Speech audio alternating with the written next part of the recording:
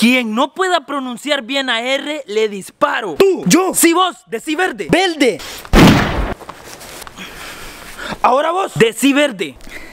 Vedle. Ahora te toca a vos. Ay, no, si no digo bien la palabra verde, me va a tocar igual que a los otros. Decí verde. Verde. Ah, muy bien, como que has aprendido la lección. Sí, sí. Ahora, ¿cómo te llamas? Ah, Lobelto.